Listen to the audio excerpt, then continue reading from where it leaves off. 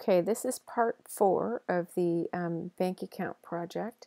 Um, we have just finished off with the get data method and now it tells us that we're ready to write the show values method that will display the data. It's going to call the method that deducts the monthly fee and display the balance again. It's also going to call the method that explains the deduction policy. So let's try that. We're going to write a show values method that um, uh, displays the values. So here, inside main, I'm going to write an obj1 dot, whoops, wrong, wrong, wrong. I'm going to say show values and pass it obj1. So I am passing it, one of these objects to this show values method that I have yet to write. I'm going to write that method right down here at the bottom. And it is going to be public static void. It's not returning anything. And it will be called show values. And it's going to accept as an argument a bank account object. And what we want this method to do is to display the values in the bank account so system.out.print ln account number. And I'm going to concatenate that together with obj.get account number.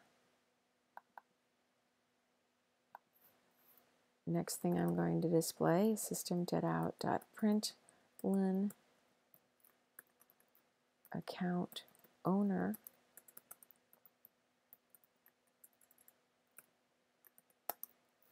and concatenate that together with obj.get owner name. Finally, system.out.println, whoops, balance.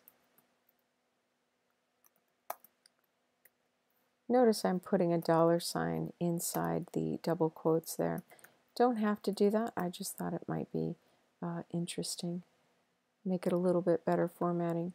And then I'm going to call this, oh, look at that. I called the wrong method. I called set balance when in fact I wanted get balance.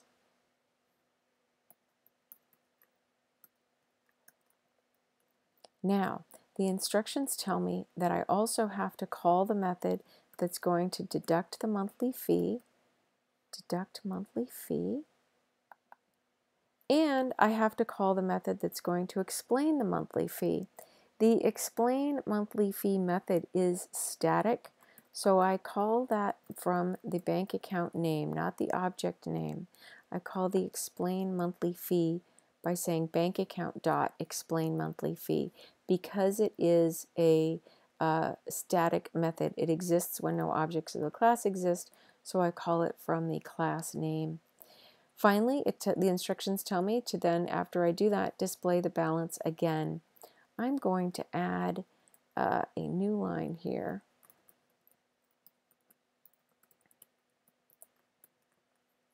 a couple of them actually, because after I print an account, I want to skip a few lines.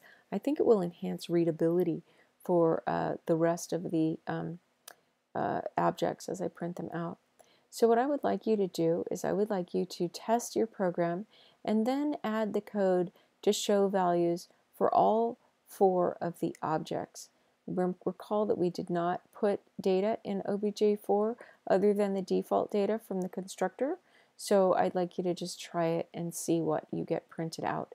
Um, when you are done with that, be sure that you document your program the way we have always done with your name, a brief description of what the program does, and some narrative about how you tested the program.